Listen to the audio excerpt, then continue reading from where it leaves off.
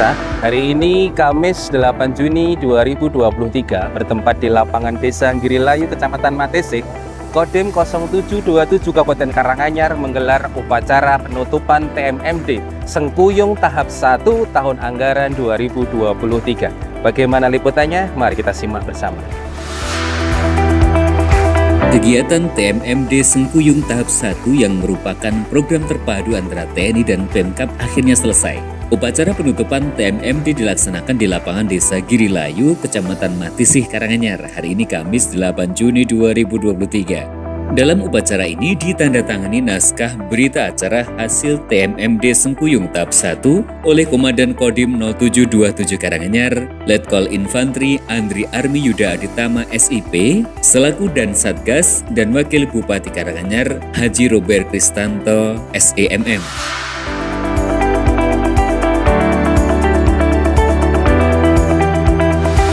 Berdasarkan laporan, sasaran fisik dan non-fisik tercapai 100% dengan total biaya sebesar 541 juta rupiah. Kegiatan TMMD sendiri melibatkan 63 orang satgas dan 90 personel pendukung dari Polri, Ormas, dan masyarakat.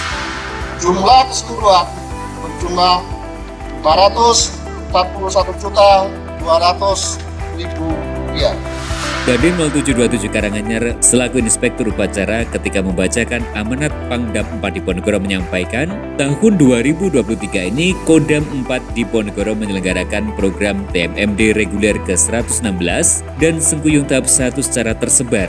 Tema TMMD ke-116 dan Sengkuyung tahap 1 adalah sinergi lintas sektoral mewujudkan kemanugalan TNI rakyat semakin kuat. Pada tahun 2023 ini Kodam 4 Diponegoro menggelar program MMD reguler ke-116 dan Sengkuyung tahap 1 secara tersebar di Kabupaten Karanganyar, Kebumen, Kudus, dan Kota Surakarta. Kegiatan ini dilakukan selama 30 hari, mulai dari tanggal 10 Mei sampai dengan 8 Juni 2023. Setelah upacara selesai, jajaran Forkopimda melanjutkan mengecek ke lokasi tempat TMMD untuk diketahui, program TMMD sendiri dimulai sejak tahun 1980-an, dulu disebut program Abri Masuk Desa AMD. Mudah-mudahan nanti bermanfaat lebih bagus, lebih baik, dan keadaan semua lancar, sehat, tidak ada suatu halangan apa pun. Upacara TMMD Sengkuyung tahap 1 dihadiri oleh jajaran Forkopimda.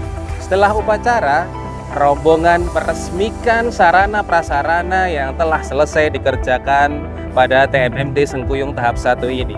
Demikian Diskominfo Karanganyar melaporkan.